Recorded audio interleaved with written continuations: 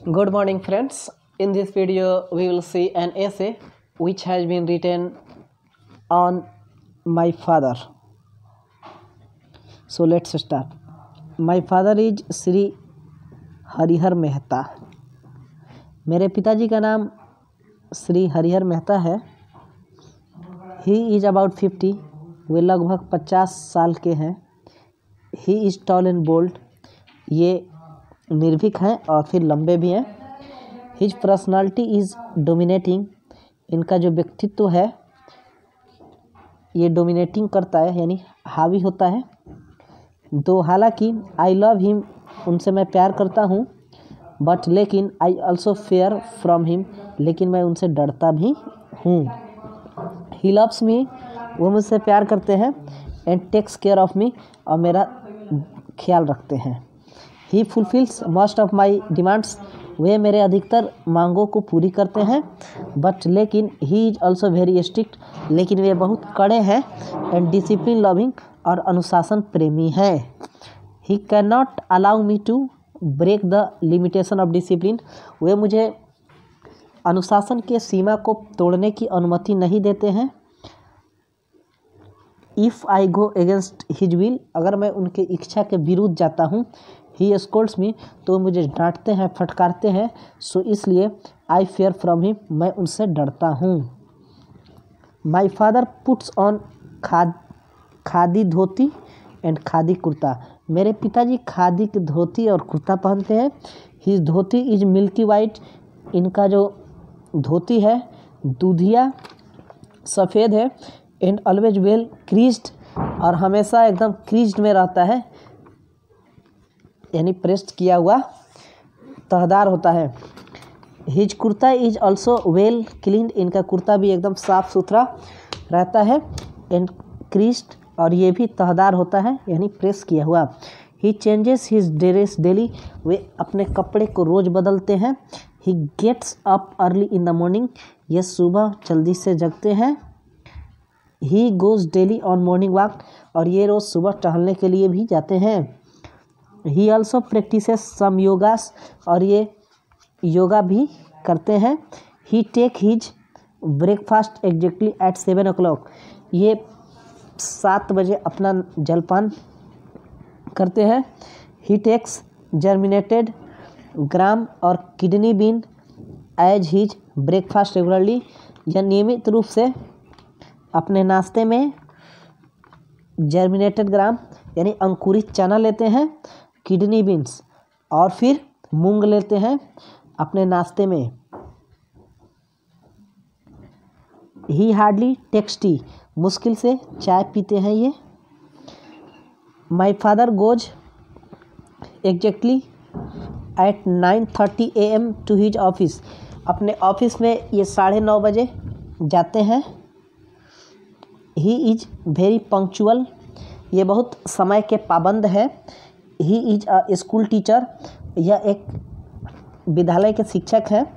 He reach his school timely यह समय पर अपने विद्यालय जाते हैं। He does not leave any scope of complain और यह किसी भी शिकायत के मौके को स्कोप को नहीं छोड़ते हैं। The principal and the students are always satisfied with him विद्यार्थी और प्रिंसिपल प्रचार इनसे संतुष्ट रहते हैं। दे ऑल रिस्पेक्ट हिम और वे सब इनकी इज़्ज़त करते हैं। He is also very much conscious to his duties ये अपने कर्तव्य के प्रति बहुत जागरूक रहते हैं। Other than his school work अपने स्कूल के काम के अलावा भी।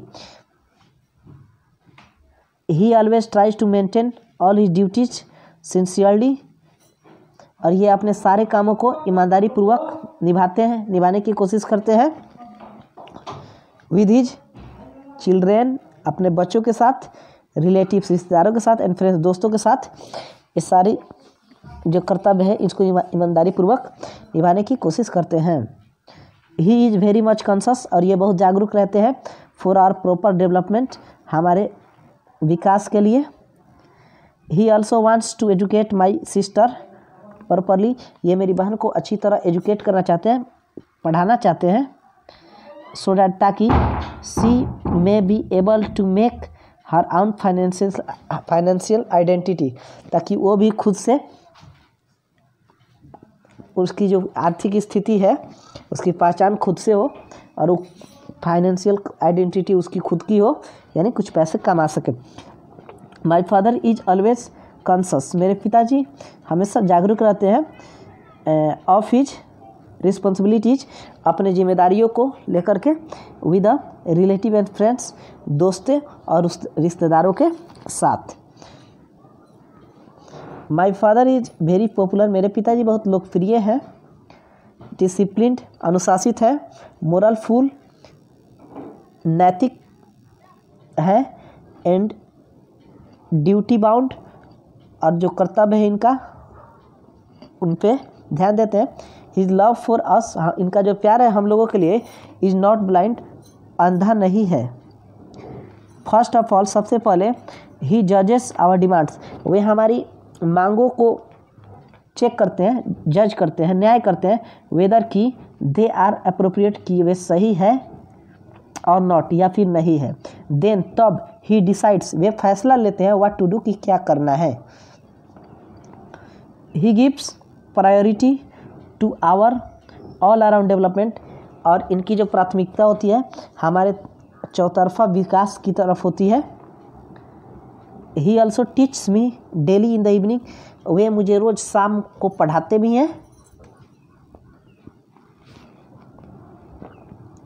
ही वाचेस आवर होमवर्क्स वे हमारे होमवर्क्स भी देखते हैं ग्रीक आज भी देखते हैं। वेदर की वी डू देम प्रॉपरली और नॉट कि हम लोग उसको अच्छी तरह करते हैं या नहीं। दीज आर रीजन्स यही कारण है ड्यू टू जिसकी वजह से विच ड्यू टू विच जिसकी वजह से आई लव माई फादर मैं अपने पिताजी को प्यार करता हूँ वेरी मच बहुत बहुत। And thanks for watching